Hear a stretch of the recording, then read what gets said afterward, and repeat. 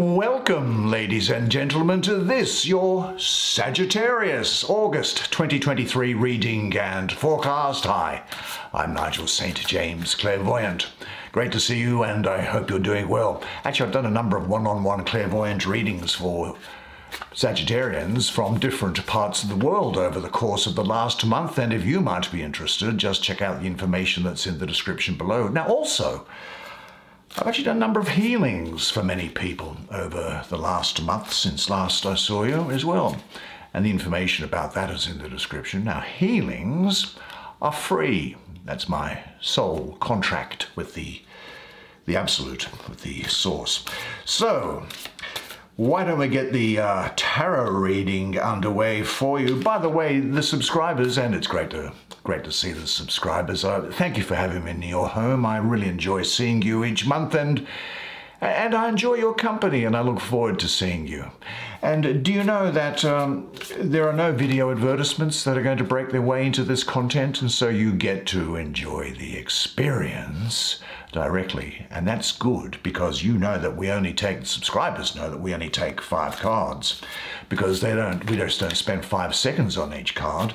Rather, the card for us in our readings, they come alive and they speak, don't they? And tell us what's in store for you.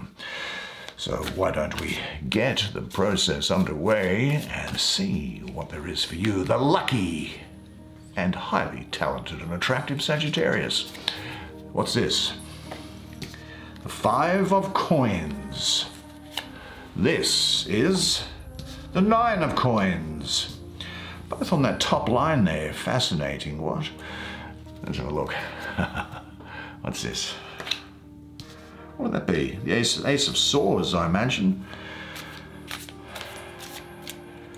Get to see what these things have to say in just one moment. Ten of Cups. Gee, I like the um, I like the paintings on on this deck. I must. Uh, there's two. I'll take the top one, shall I? And it is the Wheel of Fortune, which of course is Jupiter, your planet. So that's fantastic.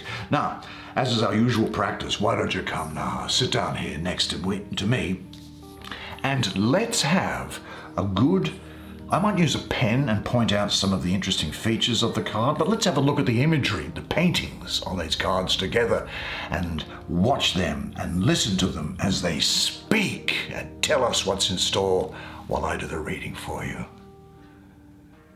Right, let's have a look at this first card that you drew, which is telling me that maybe there is there's something you've been worrying about, and it's something that you have been worrying about for some time. But it seems to me that your worries are unfounded, and in fact, there is great luck and good fortune ahead of you, and you'll wonder what you were ever worrying about in the first place.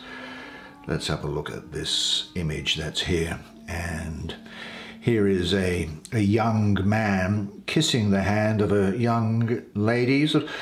Well, Mr. Winchester, I do declare you are very forward, sir, is what he may be saying. I think that theirs is a, uh, a secret affair. This is the chariot of Mars. Now, these other coins here, this is the five of coins, this is talking about, and there's some instability with the five. There's an association with Mars, so sometimes the energy can be unstable. But this is talking to me about the instability and problems that can be caused by desire and violence, and they are set out in the four elements of the tarot. Here we have fire, someone burning their hands in a fire. Here we have earth, where there is buildings crumbling, presumably of an earthquake. This is air, things being blown away by the air, and here a building about to be swamped by a large wave. Now, what has the astrology got to say to me, seeing where it is at this time, and in this position above the Ten of Cups and opposite the Nine of Coins? It's Mercury ruling the first decan of Taurus.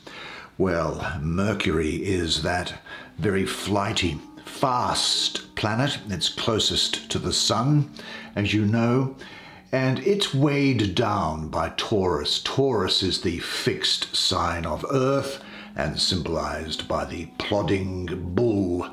So there is a sense of stagnation around you, I'd say, a sort of a brooding, a uh, some cares and troubles where your own energy might feel blocked. Your thoughts keep revolving around finding a solution, a way out, a breakthrough. It's coming.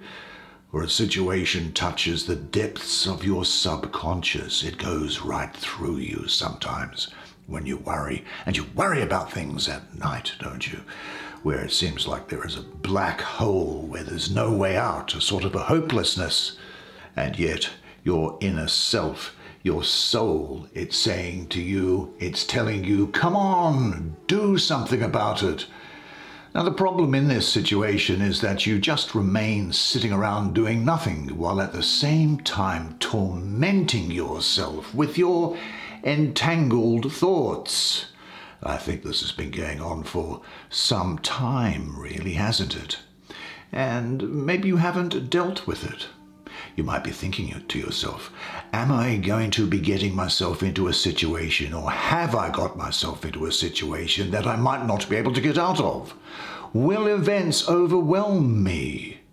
Well, worry is about past and future, neither of which we can do anything about you do have to ask yourself this if this was your last day on earth and you knew it, would you be using your remaining time to worry?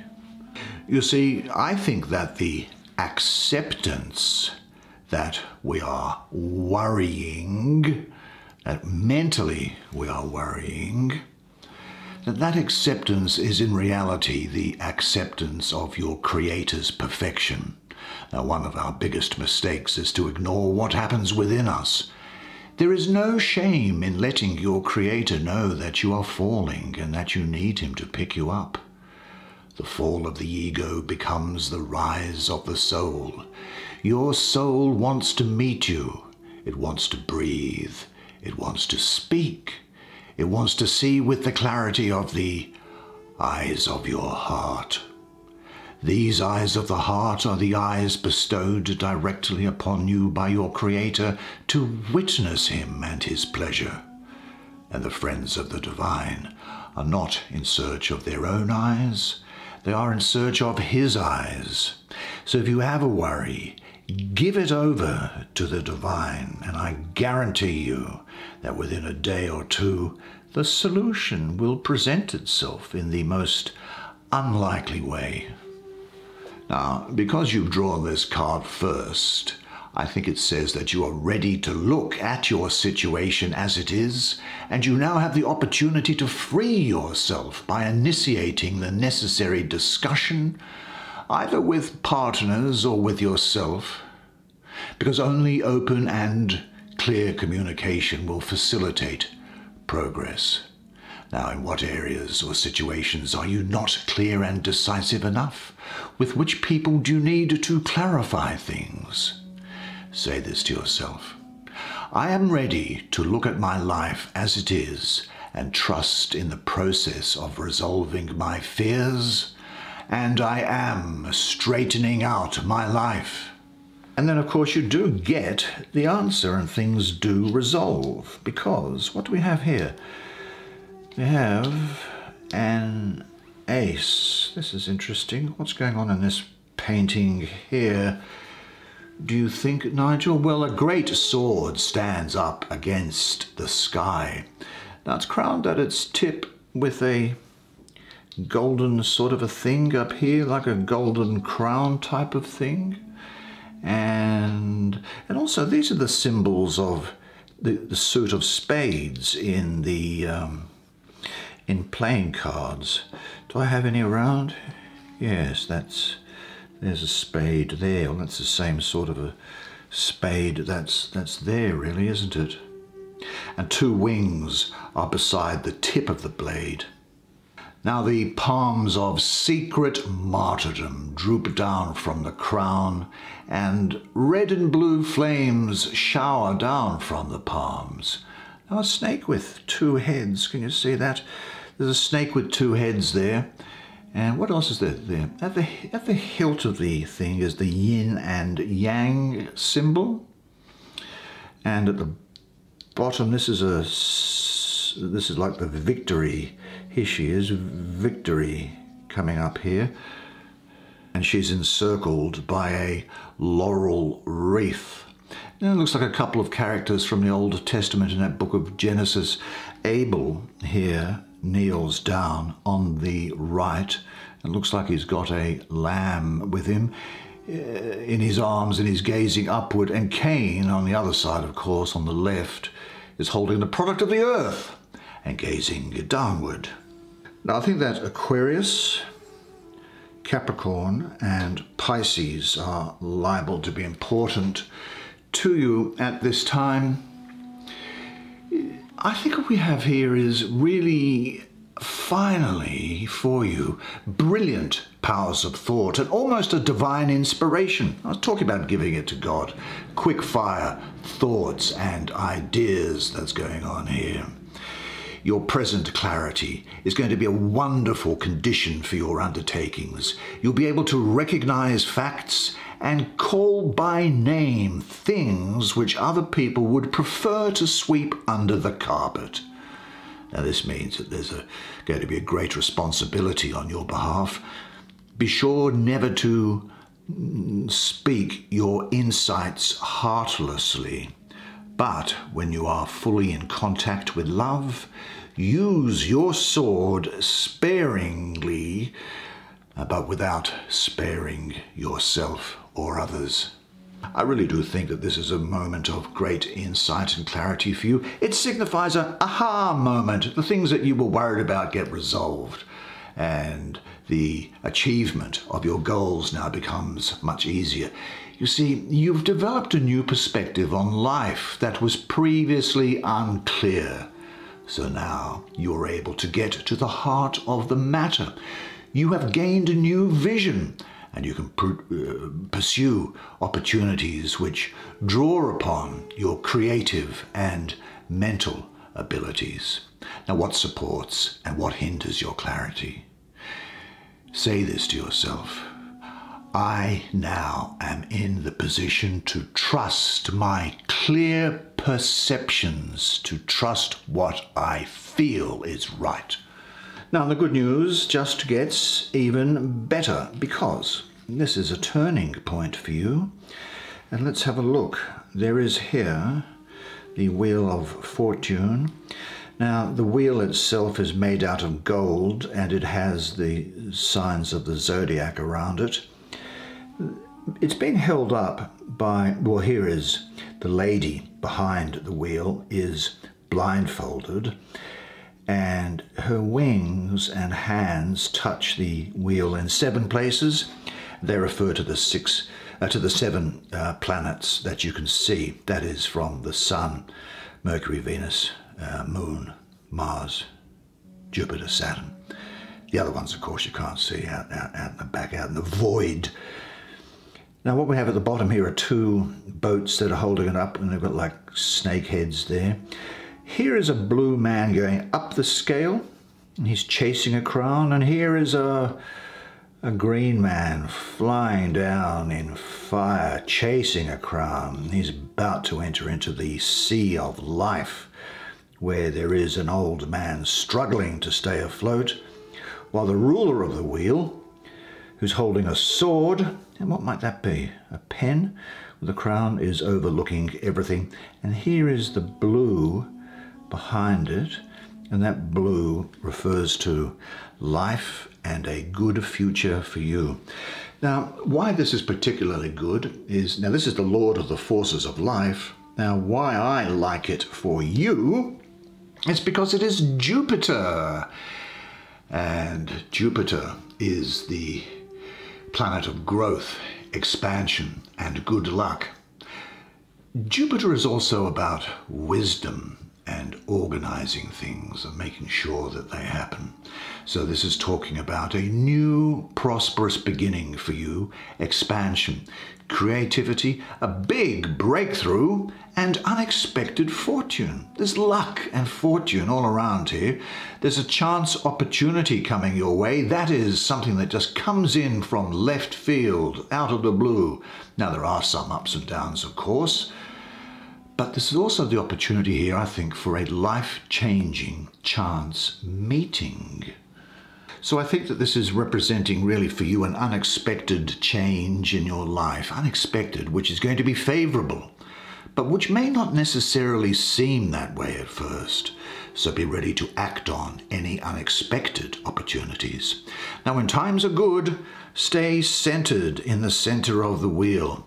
Then you don't get thrown into the sea on the way down. It doesn't matter which way the wheel is going. Change is about to happen. Now, you may need to alter your present course or change things around to set the stage for the right outcomes to come into your life. And of course, if you struggle against the course of life, you become like this guy struggling against the wheel. So be in the center. Look, if no miracles are starting to happen, then something is wrong. You stand before the possibility of a great breakthrough, so use this moment. Are you really ready for the great fortune? What's standing in the way? Say to yourself, I am a prosperous individual. I am flexible in times of change. I enjoy manifesting internal abundance externally. Abundance, which created me, is what I am, and I am now ready for the miracle in my life. Now, what is the card that's sitting on top of that? That is this card here. Oh, getting a lot of this has got gain, material gain all around it for you. Things moving your way. No need to worry about things, you see. You worry about things, what you worry about never comes to happen, does it? Have you found that? That's certainly been my case. That's certainly been the case that I have. Well, here we have a, first of all, all these things here are goat's heads. So there's nothing particularly interesting about that. And there is a path winding through a garden and at this end of it there's a storm. Now here there's now at the at the start of the path, a gold ring has been lost. This character is going, oh, what's that back there? This woman is also coming down this way. Maybe she's the one who's lost it. Whereas this person here has got their umbrella up, ready for the rain which is ahead. Now, this is a good card and a good energy because what it's saying to me astrologically is it's Venus ruling the second decan of, of Virgo. Now, as you know, Venus is the lesser benefic. Jupiter, your planet, is the, the great benefic. This is the lesser benefic. And Venus is concerned with love and money. Money and relationship and happiness. And these things are all expressions of your values, your pleasures, your tastes, and so on. And Venus is saying that if your heart is pure and you follow your heart, your life can only gain from this, and good fortune, which is with this Wheel of Fortune here as well, is going to attend your material affairs. So there is gain here and reward for your efforts and realizing your goals. Now, you could well be on the way to some sort of a financial and personal security here, a self sufficiency, and projects, situations, and relationships are going to magically come together and produce material gain. You will start moving ahead really.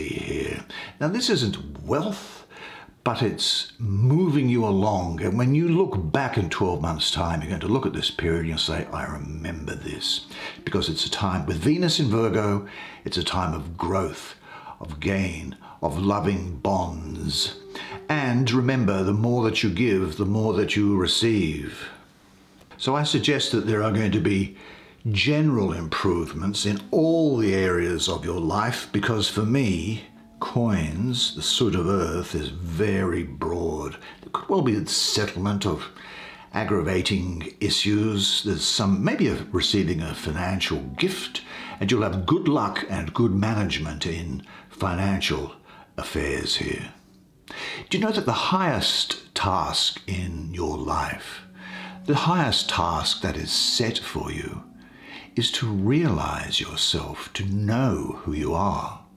Now, this happens in carrying out the special tasks that are assigned to each of us during the course of our lives. And retreating from your life's tasks out of fear or a desire to remain comfortable means denying yourself, denying your soul self, breaching your soul contract. Gain comes from giving willingly and lovingly. Uh, giving in this sense means also giving yourself to the universe, giving yourself fully to life. The cosmic law of wealth is thereby fulfilled. The more I give, the more I receive. Now, if your knowledge and creativity are filled with love, you will gain from all situations in life. The more deeply you are engaged, the more comprehensive your insight, your insights are going to be. Now, do you know what is the highest goal in your life? Say it in one sentence, write it, know what it is, and check carefully whether that which you call gain is in full harmony with your ultimate goal. But nevertheless, say this everything that happens today serves my growth. The more I give, the more I receive. And then that takes us finally, I think, I think it's finally, isn't it? To, ah, oh, see, here's another tremendous thing happening for you. Great, beautiful relationships going on here. What's going on in the painting? One, two, three, four, five, six, seven, eight, nine cups are there, and there's this tenth cup. The tenth cup is, allow, is the entrance, which allows you to get across this moat and into the town, which is under construction. So it's obviously quite a well-to-do and wealthy town. There's lots of construction going on. The central thing here looks like a temple with a fountain at the top. And there is a young man and a woman who, but if your lesbian or gay audience can just make the necessary adjustment, it doesn't change the meaning, are married and, uh, and enjoying each other's company. It really is a picture of, of wealth and fulfillment. Now, what is interesting about it is that I'm just looking to see where the card is placed. And because it's there, it says to me, Mars ruling the third decan of Pisces. Now, that's about the 9th to the 19th of March. Now, Mars rules, uh, well, Jupiter, your planet, rules Pisces as well, you know. So, what's Mars going to do in Pisces? Well, you might think that Mars is a problem in Pisces, but Mars actually has a softer side. Mars is, or now Pisces is a feminine sign. Mars is also the ruler of Scorpio, which is a feminine sign. And Mars can be very good at that the energy, the effort, the aggression used to protect the young, to protect what is important, to protect family, to protect what values are there. And so that sort of energy that's there is one which I think is going to be one that's ensuring that you have satisfaction because you would think that Mars is disruptive and would conflict with peaceful Pisces, but I don't think it does. You get fulfillment, and this is going to radiate out from around you. So there is emotional stability here, and your dreams are going to become a reality. Now, there is a great deal of emotional passion here, sexuality and vitality. But this is a 10, and this is Earth, and so it's transient. It's about to devolve into the ace of the next suit, which is going to be the ace of swords, as a matter of fact. See, they're all connected, aren't they, these cards? So what we have here is, I think, that There's a happiness here which, because of Mars is there, that you might get a short lived happiness as a result of consumer things, where you really thought that you wanted to obtain something and then you got it and you said, Oh, why did I do that? Or you may have said, I wanted to get my hair colored like this. Why did I do that? Or I wanted a, a, a particular style of hair. Why did I get that cut? Why did I get these shoes? Why did I get that phone? Why did I get that game? You think they're going to make you happy, but then you get bored and you want to move on to the next thing. Now, sometimes in a relationship, it can mean, with Mars around, just around, it can mean that. See, it's very productive, Mars in Pisces, I think.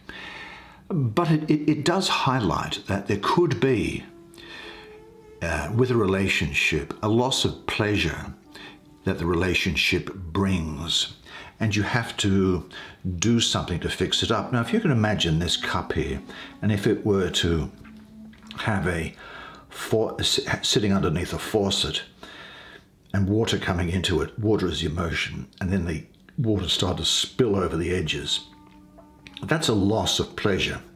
So you need to do something. You either need to move on to another cup, which I don't recommend, or what you need to do is you need to rejig the dynamic of the relationship. That is to make the cup bigger so that you can hold it, to change the, the not the rules, but to change the dynamic of the relationship in order to ensure that there is a, uh, a, a, a way in which you, you do now feel satisfied. It's not that you're not happy, but it's that you're full. And so maybe you're thinking, oh, have I come to the end of, of what something has to offer. But look, this is saying to let things develop by themselves, because everything always comes to you at the right moment, doesn't it? Now, what does a fullness of relationship mean to you in this situation? And say this Life gives me all that I need to be happy, because you, of all people, are living proof of that. Well, what a fascinating spread of cards for you. Good job, you. I really must say that that was a very interesting set of information provided uh, by the cards for you this month, don't you think? And doesn't it look like it's going to be a fantastic month for you? And you deserve it, I think, don't you? Now, do me the favor, would you, if you did like the video, please press the like button on your way out. It helps the YouTube computer thing uh, promote uh, the channel, and, and that's the only favour I ever ask of you. So uh, thanks if you do do that, and I'll see you again next month. Now, but remember this though, until I do do that, that you are a legend. And I do look forward to seeing you again next month. And until then, it's bye for now.